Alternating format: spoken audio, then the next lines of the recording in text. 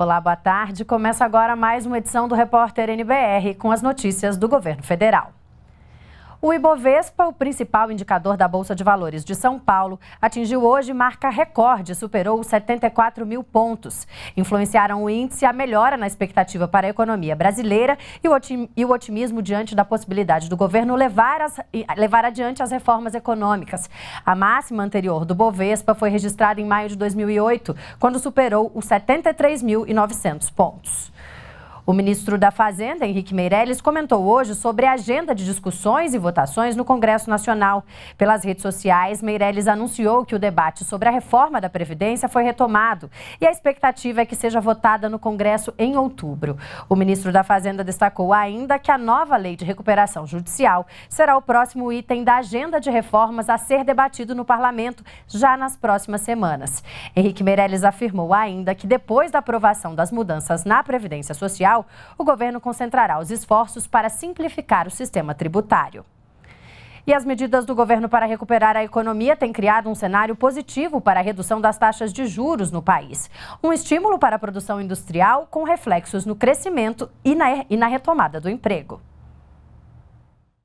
O dinheiro custando menos. Com a definição da queda na taxa básica de juros da economia, a taxa Selic, o valor pago para contratar um empréstimo ou um financiamento, por exemplo, tende a ser mais barato. Reduzindo a taxa Selic, a taxa básica de juros, que é a taxa que o Banco Central define, você tem um efeito sobre as demais taxas de juros. Todos esses financiamentos acabam tendo uma redução uh, nas suas taxas e, em consequência, o consumidor, de um lado, né, então vai ter a possibilidade de comprar com juros menores e o empresário de produzir com, com juros menores, que uma redução no, no custo de produção.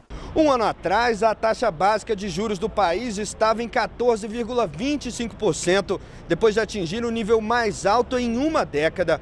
Esse índice começou a cair em outubro do ano passado, até chegar à marca de 8,25% no começo desse mês. Referência para toda a economia brasileira, o indicador deve seguir em queda nos próximos meses, segundo o Banco Central. A taxa vem sendo reduzida em um ponto percentual desde fevereiro deste ano, nas últimas reuniões do Comitê de Política Monetária, responsável por fixar esse índice. A Selic é uma ferramenta importante para o combate à inflação, que está abaixo de 2,5% no acumulado dos últimos 12 meses e tem impacto direto sobre o poder de compra da população a alta dos preços sob controle, com políticas fiscais responsáveis, abriram espaço para a redução dos juros. No momento em que a inflação está lá embaixo, como acontece agora, menos de 2% no acumulado de 12 meses, há um espaço grande para reduzir fortemente a taxa de juros e destravar a economia e, com isso, proporcionar uma oportunidade de aceleração do crescimento econômico do país. Um impulso a mais para uma economia que segue se recuperando e retomou o crescimento. Além da geração de empregos, já são dois trimestres consecutivos de aumento da atividade econômica do país. Instituições financeiras já têm refletido a decisão. O Banco do Brasil anunciou a redução das taxas de juros em operações de crédito imobiliário. Eu acho que é vantajoso para a população de modo geral principalmente quem está precisando de, de, de, algum dinheiro emprestado, né? Se o juro estiver baixando para fazer o financiamento, aí fica bom, né? Melhor, né? Melhor bastante, né? Os juros menor, você consegue é, adquirir bens é, financiados né, sem é, comer boa parte do seu salário. E a indústria da transformação voltou a contratar em julho. Os dados são do Cadastro Geral de Empregados e Desempregados, o CAGED. A repórter Luana Karen traz os detalhes ao vivo. Luana, boa tarde.